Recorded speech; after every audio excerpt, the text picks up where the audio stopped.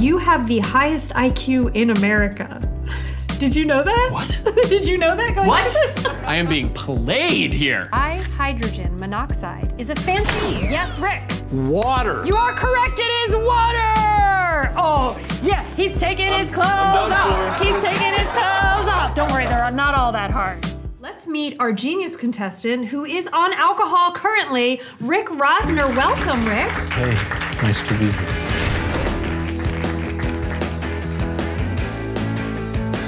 You have the highest IQ in America. Did you know that? What? Did you know that going What? this? Rick! I am being played here. Sorry. What is this hustle?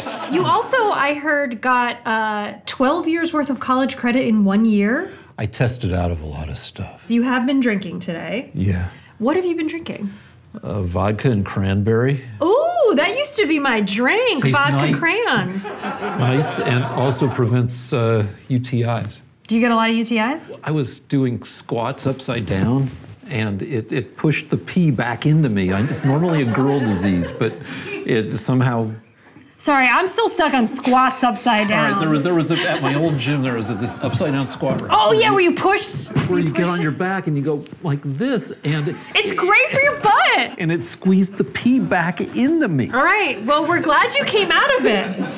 What gas has the atomic number of one on the periodic table? Yes, Rick. Hydrogen. You are correct. Hydrogen. Nitrogen has the atomic number of seven, oxygen has eight, and phosphorus has 15, in case you wanted to know other fun facts. Hydrogen monoxide is a fancy. Yes, Rick. Water. You are correct. It is water. Oh, yeah. He's taking his clothes I'm off. He's taking his clothes off. Don't worry, they're not all that hard.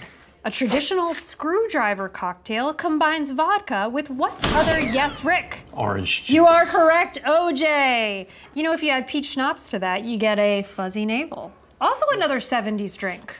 We were talking about 70s drinks earlier. I lost my virginity, right? No shit, it was 1980.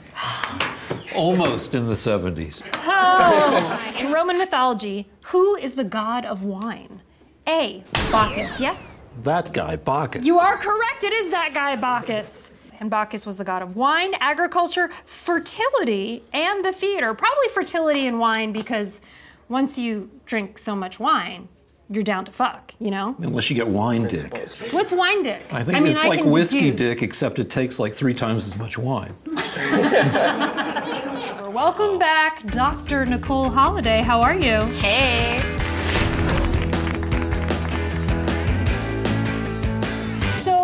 Nicole uh, is back on our show, and you're out for blood, I heard. Oh yeah, no. Fuck this dude. Yeah. I lost about ves- vice presidents last time, and like mm-hmm. I can't let that happen again. I get it. So- Are you so nervous, not great. dude? I you know what else too? I hate great. cheese because I'm lactose intolerant. So Wow. like I really want to take him down. This is real. We are not vibing here. I mean, And also, she looks angry. to make you even more nervous, you've also appeared on some television trivia shows, right? It's a true story. Yeah, I was on Who Wants to Be a Millionaire. I've been on The Chase. I was on NPR. Ask Me Another if you like public radio. Yes, I do. Go ahead catch that. In E.L. James's Fifty Shades series, which I know both of you read. Yes. The main characters, Christian and Anastasia, began as characters in the author's fan fiction for what? Yes! Twilight. You are correct. Yes. this is a fun fact I learned recently that Christian and Anastasia were based on erotic fan fiction for Twilight based on the characters Edward and Bella. On TV's Family Guy, who is the mayor of Quahog, Rhode Island? A. Arnold Schwarzenegger. Nicole. Adam West. Correct. Yes. Did you have any idea? None whatsoever. Wow. And you were like, oh, she's a genius, but she's not going to know about pop culture. That's what you're thinking. I right? said that in confidence to you, and so that was pretty weird that you brought it up right now. He said a lot of things in confidence to me, and I'm going to tell you all of them, America. According to a book by Douglas Adams, whoa, you don't even know the rest of it, but answer me, Griffin. Hitchhiker's Guide to the Galaxy. God, I really gotta stop doing that.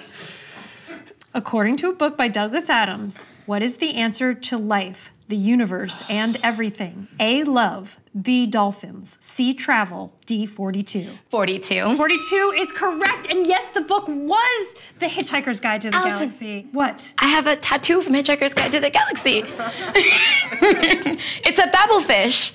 That's amazing. It's a mythical fish that can translate all the languages because I'm a linguist. That's amazing. That makes sense. Name as many sovereign African nations as you can. Oh, fuck yeah.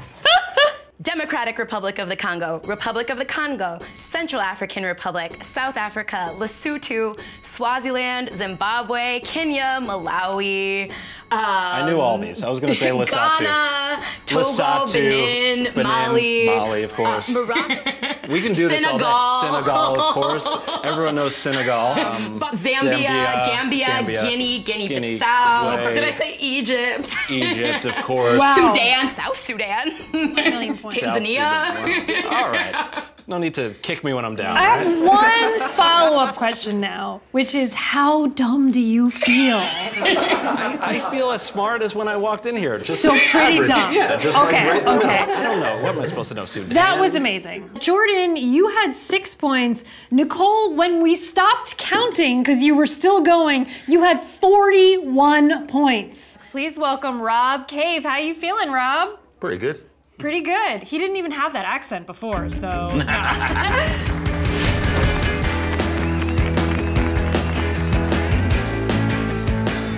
what are you drinking there? I'm drinking uh, Guinness. Wow, I don't think I've ever gotten tipsy off of Guinness, Rob. I've, I've had a Guinness, but never just like more than one at a time. You've got to put the practice in.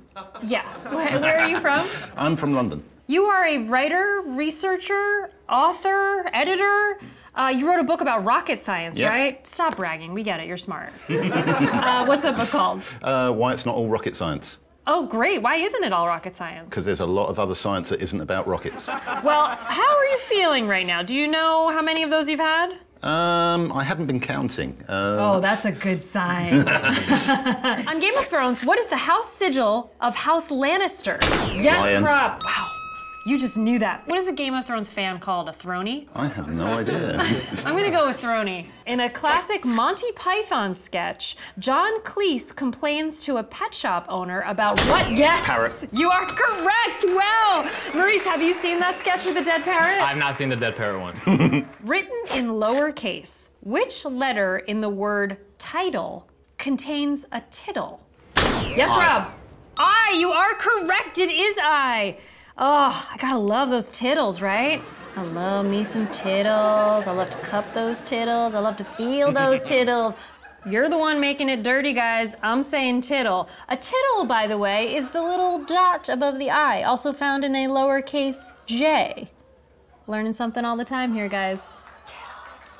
Show me your tittles.